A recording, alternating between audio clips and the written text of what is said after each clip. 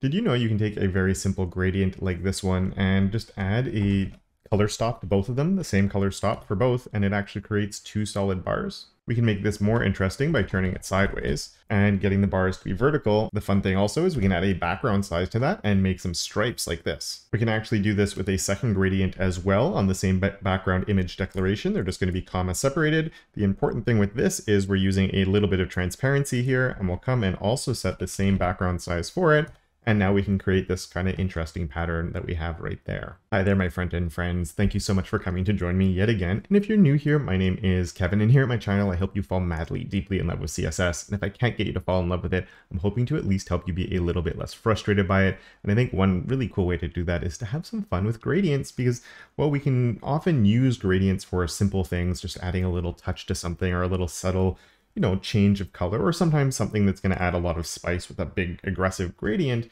Uh, they do a lot more than that, as we just saw, and there's more than what we just looked at uh, that we can do from creating zigzag patterns to waves and a whole bunch more. And they're by calling them gradients, the name sort of hides the fact that they can do a lot of these really awesome things. So with what we just looked at, it was a little bit of a teaser of the things to come. So let's jump back into VS Code here and get started with the other stuff that we can create.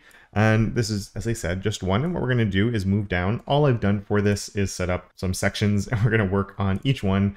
Uh, so we can scroll down, get rid of that one and come to the section two, which is not a class and start working on that. So we have a color that can come and act as our background.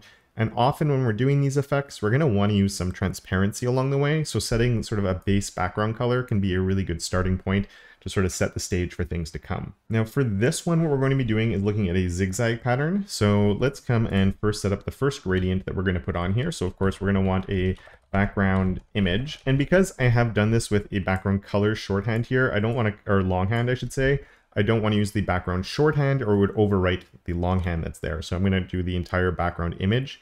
Uh, of course, you could do these the other way around uh, and then not worry about it. And there are other approaches to setting these up that can sometimes be a bit more concise, but I just find this way is a little bit more clear. So if you're new to the patterns, hopefully it helps you understand exactly how they're working. For the zigzag, the first thing we're going to do is have a transparent that's 50% and then have an actual color that's the other 50% here.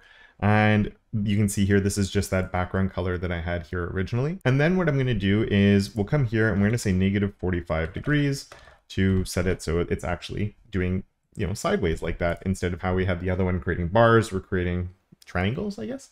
And that made me think of something that could have been useful uh, a few days ago but that's okay um, and just really fast, I am breaking these down over multiple lines just to make it a little bit easier for readability uh, during the tutorial here, because I don't like word wrap and stuff, and if not, we're side scrolling, which is terrible for demos and everything, but you can write this all along one line, no problem. Now, the way I've set this up at the moment, it's actually doing, you know, we're splitting it right in half, but we could actually change these points here to be a 75% and a 75%.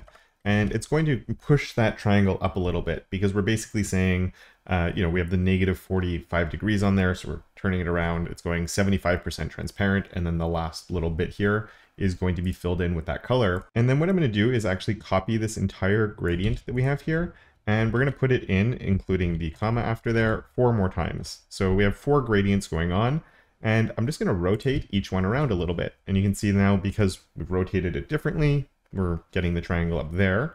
Uh, and then we want a negative 135 and then a positive 135. And the order of these really doesn't matter. Uh, but basically it puts a triangle in each corner or gives us sort of this interesting pattern that we have right there. Uh, and it's just basically about having the four gradients creating a triangle on each side. Now, as we saw with that first one at the beginning, if we add in a background size on this, background size, uh, I'm just going to say four rem four rem, uh, it's already going to create sort of an interesting checkerboard pattern right here. Uh, and the reason I'm doing four rem four rem is it's doing, um, if I just, that's kind of interesting too, I guess, uh, but we want to repeat it on both axes. Uh, and we could do something even kind of weirder if I put a comma here, 2 rem, 2 rem, let's say. Um, look at that, that's kind of cool. but basically, it's this is going to be used for all of them until I actually declare something else. And if I declare a second one, I think this one is actually getting used for, you know, this would be for my first one here, and then we're repeating that one for all the other ones. So you could have different background sizes for all of them, but for a zigzag, we're going to stick with this. Now, in the previous one, we looked at how we can do background size differently, but one thing we didn't use is setting up background positions. So let's go background position next, and we can move these around a little bit, which is kind of interesting. So because I used 4 rem for the size, I'm going to move the first one over by 2 rem, and then I'm going to say 0.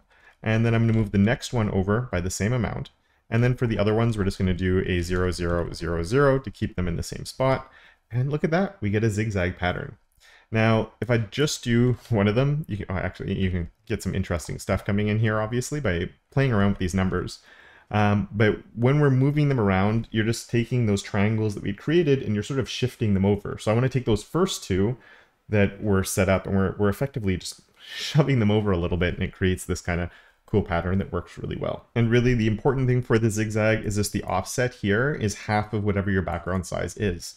So if I had, uh, you know, if I needed a bigger zigzag, we could put that up and I could increase this to be half and then you get the same thing. This could be a really good use case for custom properties. So you're just updating one using a couple calcs and everything just works really well.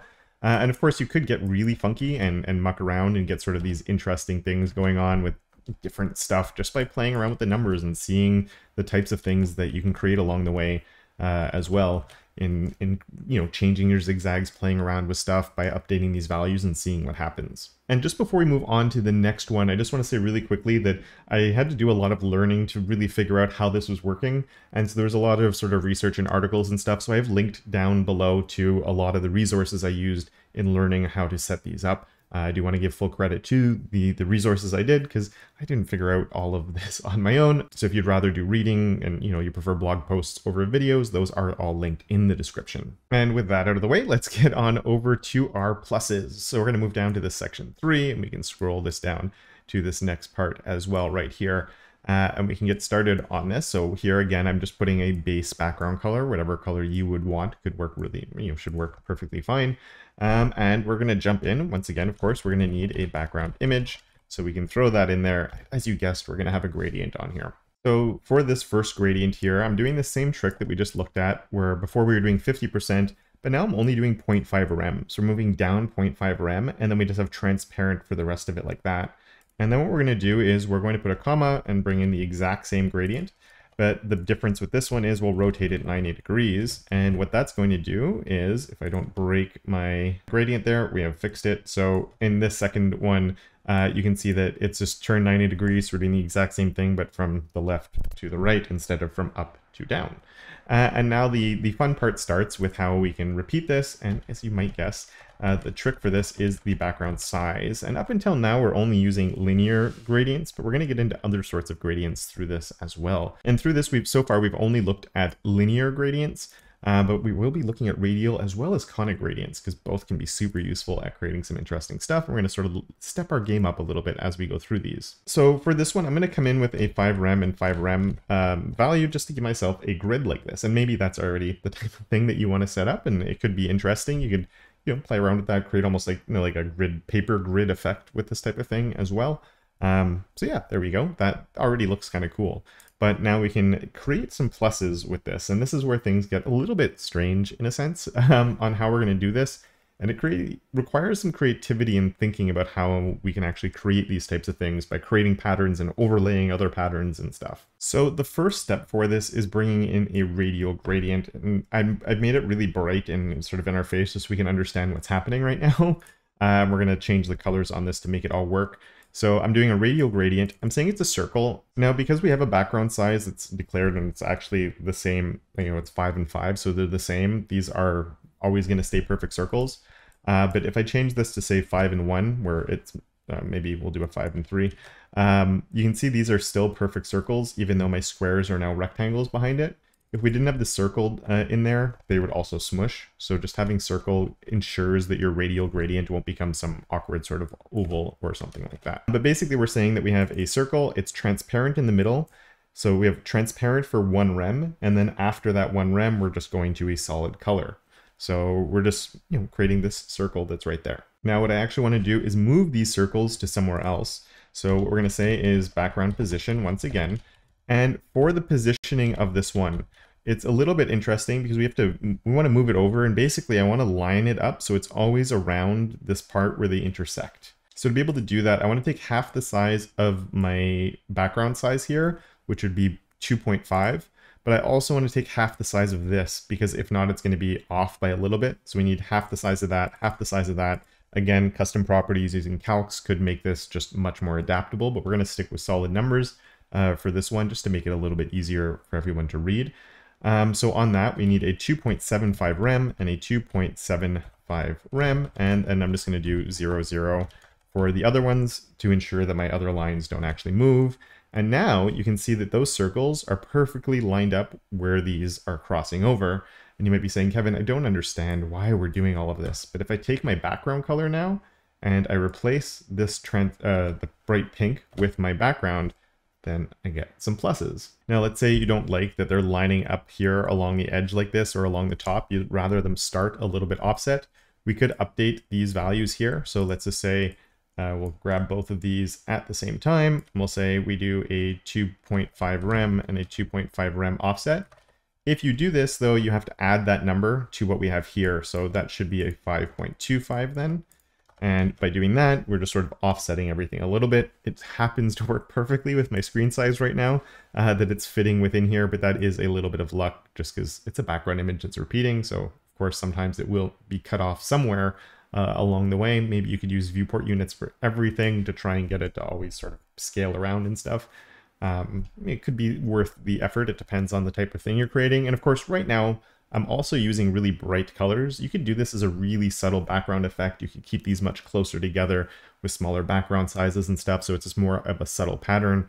But to really see what's going on, I am using bright colors for these. Now, just like in the other ones where we played around with the background position and I got some really interesting effects, you of course could continue to play around with that, or you could come in and play around with your background size. They're all the same right now, but I could come in and actually say that that first one has a smaller background size on it uh, one rem, one rem, and then we have the other ones, and you start coming into some really interesting or, or creative things. So for example, if we did two rem, two rem for the circles, and then one rem, one rem for the other ones, and so you get sort of these fun creative patterns just by mucking around either with the background size or the background position. And if you're trying to come up with these, having the overlaying layers as transparent is always sort of interesting, or not interesting, useful. So like not using solid colors just so you can sort of see how things are moving can be really helpful.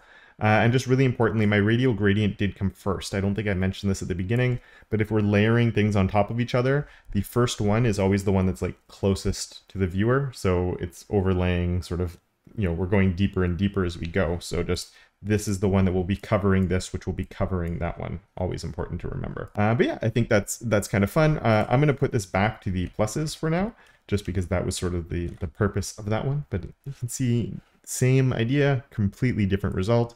And now we can move down to the next one, which is our section four right here.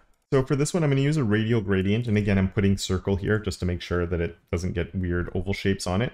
Um, we're doing our transparent in the middle, so one rem transparent, and then we have the rest of it filling up with this color right there. So we could actually do this by having multiple radial gradients like we saw before where we have multiple gradients and to build like concentric rings if we wanted to, but we could do it all with one.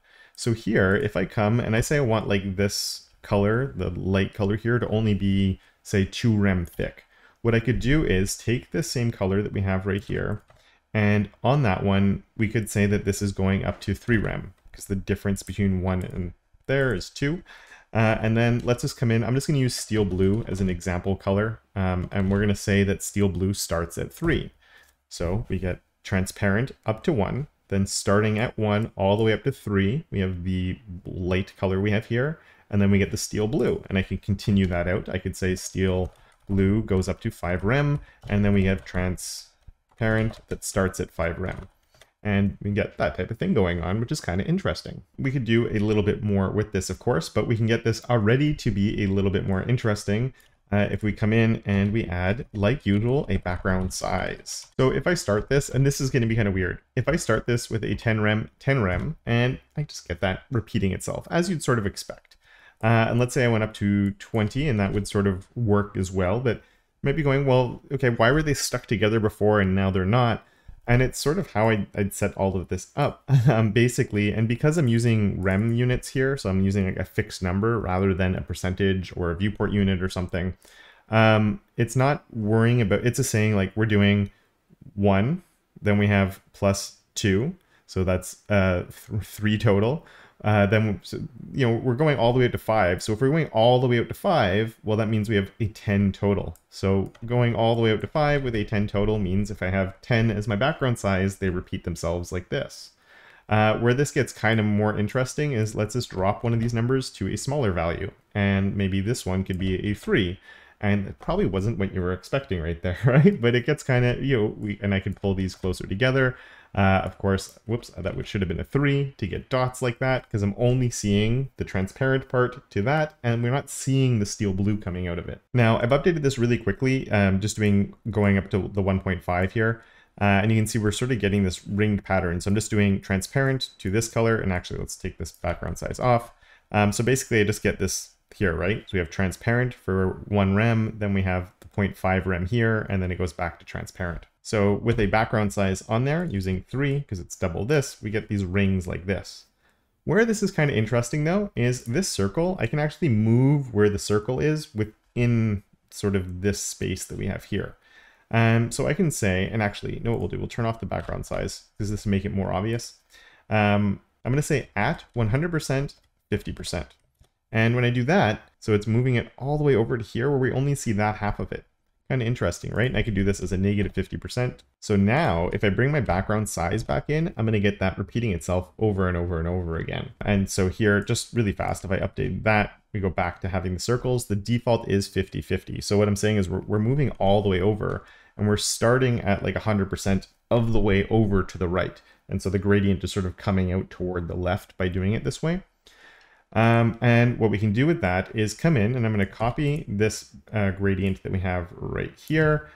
And I'm going to put my comma, whoops, and we'll put the comma there and paste this back in. I don't have formatting on, so let's just do that really fast. But what I want to do for this one is start it at the zero side instead and it goes back to the circles. So you might be wondering, well, Kevin, what's the point of this? We had this already. Now, right now, the 3 and 3 gives us this, but what I actually want to do is move things around a little bit. So I'm going to change this 3 here to a 5.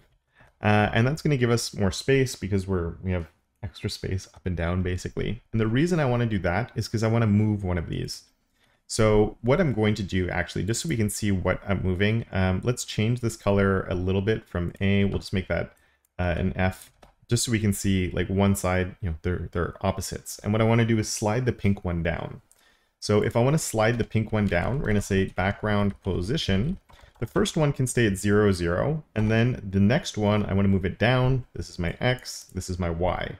So I want to move my, let's just try negative 1, and it's not going to be quite enough, but you can see it is moved, or you know, it could be positive 1, it's going to move down. And we need to move it down enough to line up with this next one.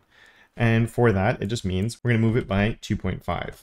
And look at that, they line up. And then of course, if the colors were the same, uh, right, then we get it looking like a wavy pattern, which is really, really cool. And if I change my background size this way, we can just add like more and more space between them basically to play around with that course, play with your sizes, different things like that, which would involve updating background positions and everything. So percentages for this could also make it a little bit more obvious or using custom properties once again. Um, the important thing here is the background position is based on the background size that I'm using here. And the background size that I'm using here is based on the size of the actual circles that we're creating. Uh, we were doing them, they're three big each but then we have the 0.5 rem, so it's actually two and a half big each, really, to get them to line up properly. So the two and a half plus, you know, plus two and a half is five. So um, that happens to work because you might think that it would have to be six, but then they can never quite reach each other. Though that does mean you can do kind of cool things like this as well. Uh, and then maybe play around with different settings to get interesting stuff going on once again. But I'm going to bring that back to just being some uh, waves like we had originally. Maybe I will space that out a little more because it's, it's a little bit busy.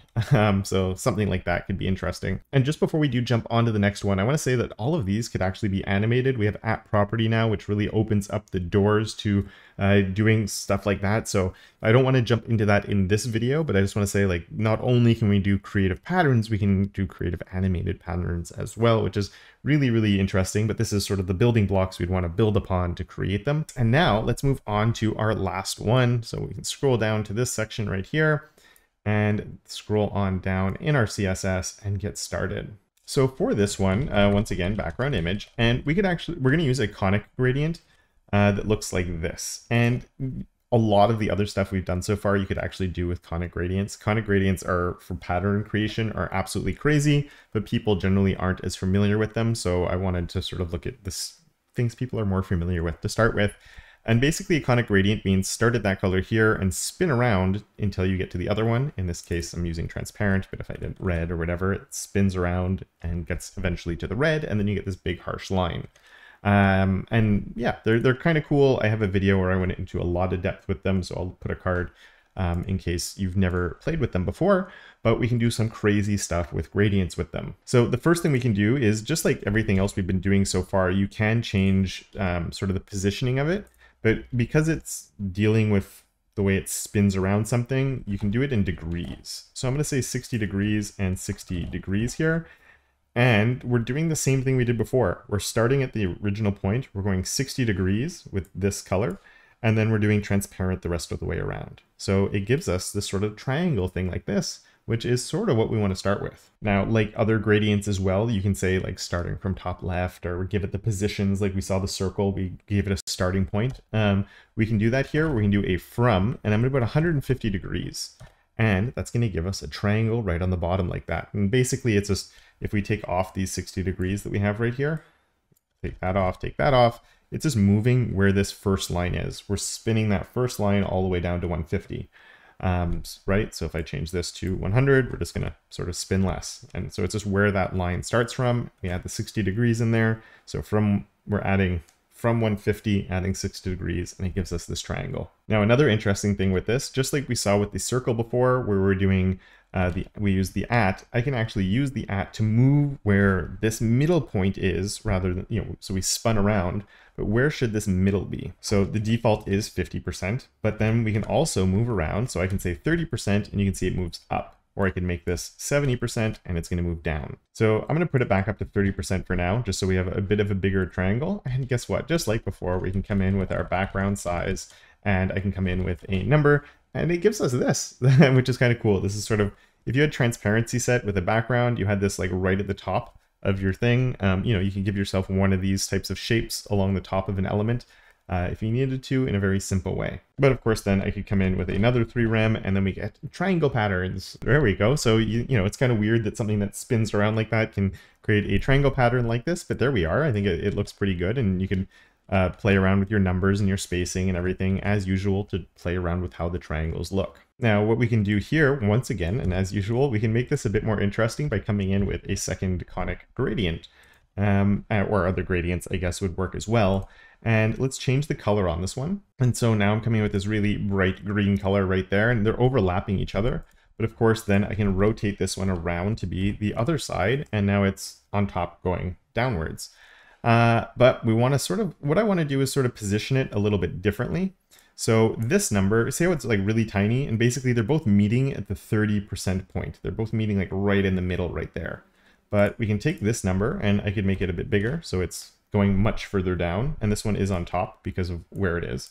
Uh, maybe we'll do 60 on this one actually, just make it a little bit tinier than the other one. And now what I could do is come in with my background position and I could offset them a little bit, which makes things a little bit more interesting.